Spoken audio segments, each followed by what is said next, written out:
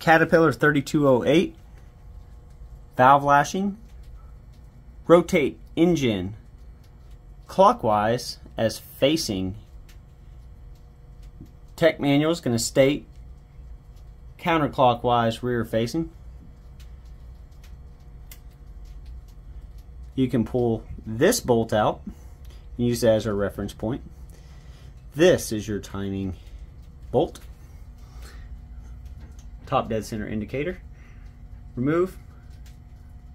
Mine was a fitting, an AN flare fitting that I removed. Take it off. Rotate engine. Tech manual will state. Rotate until top dead center mark comes in contact.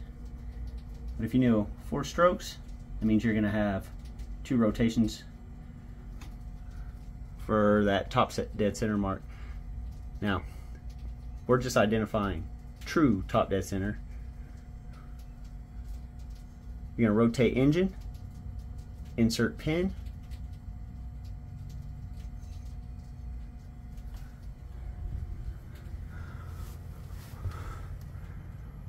remove valve train, cover, lift up, lift up, lift up, lift up, Lift, lift, lift, lift. Nothing. Nothing. Lift, lift, lift, nothing. Lift, lift. Lift, lift, lift, lift, lift, lift. Lift, lift, lift, lift. Good pressure. Lots of pressure. To check your valve lash,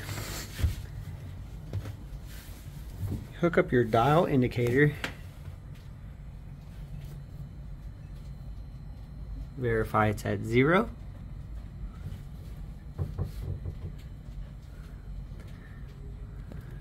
Push down as indicated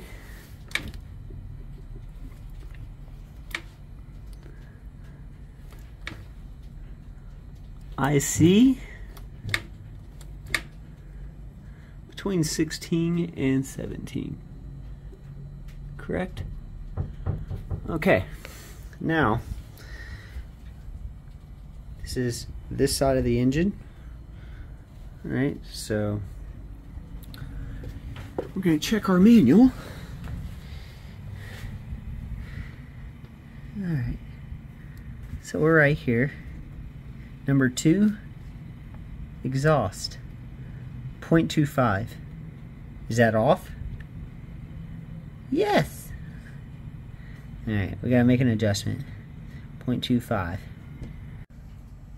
To make adjustment, you know, loose, you're gonna use this adjustment nut to make your adjustments. You must first loosen this nut. It's a 9 16 nut. You put it on, loosen it, with the dial indicator on. You can now move it up and down, apply pressure.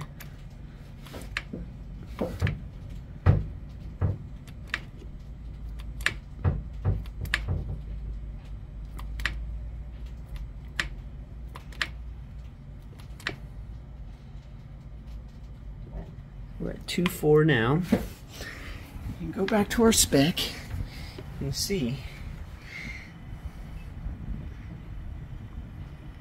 two five exhaust, right? And that's what it wants it at. After you get your two five in, or 15, depending on if you're doing the intake, then you're gonna torque that lock nut to 24 plus or minus five foot-pounds while holding the adjustment screw right there.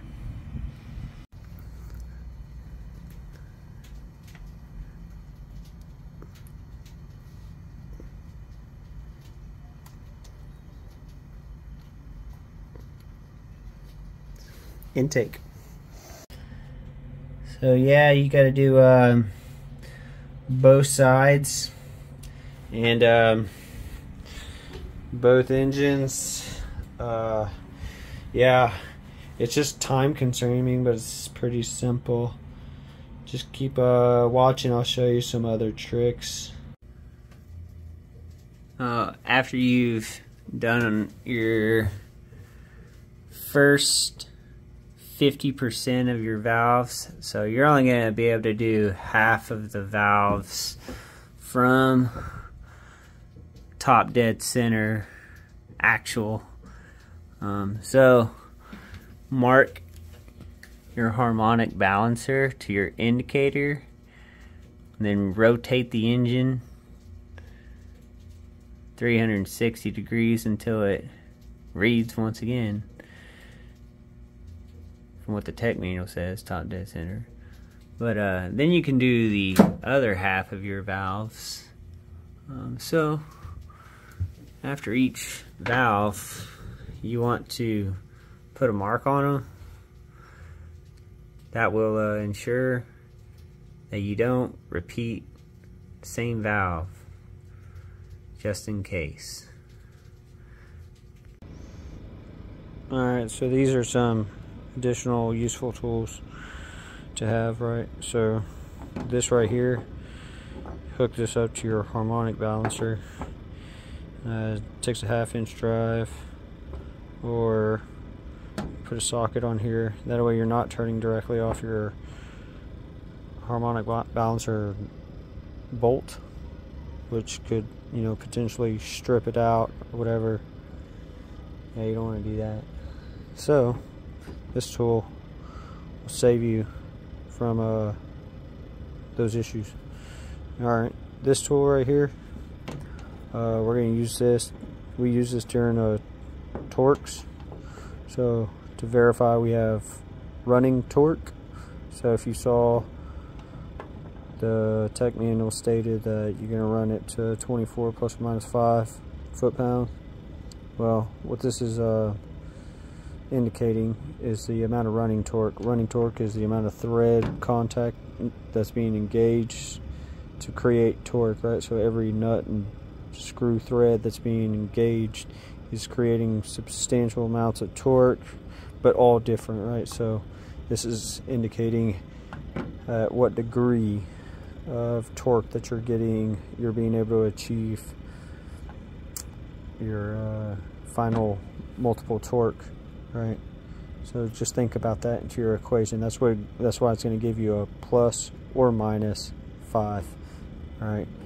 Um, then you're going to utilize a crow's foot to do your actual torque because how can you hold the adjustment screw unless you have this so that's how you do it uh,